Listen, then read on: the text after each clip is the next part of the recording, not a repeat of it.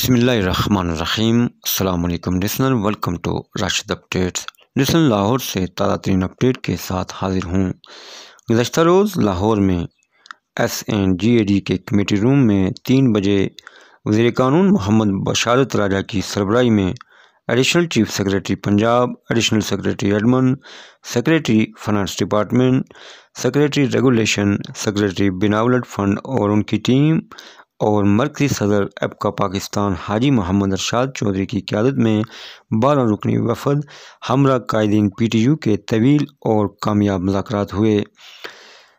حاجی محمد ارشاد چودھری نے وزیر قانون سے کہا کہ ہم تین سال ہو چکے ہیں، صرف مذاکرات ہو رہے ہیں، لیکن ہمارا ایک بھی مطالبہ ابھی تک پورا نہیں کیا گیا۔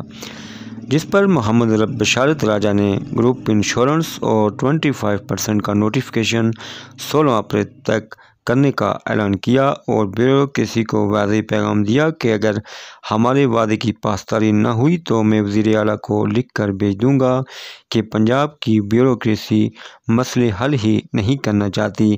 لہذا اب میں مذاکراتی عمل کا حصہ نہیں رہ سکتا۔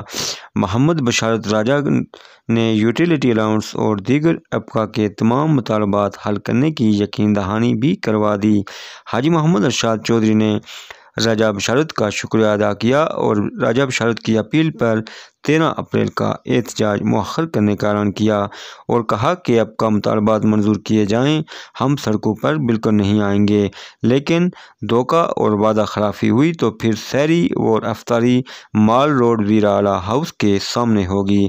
کسی بھی صورت ہم اپنے حقوق سے پیچھے نہیں ہٹیں گے۔ لسن یہ تھی اب تک کی تازہ اپڈیٹ، مزید اپڈیٹ کے لیے چینل کو وزٹ کرتے رہیں۔ تھینکس فار واچنگ اللہ حافظ۔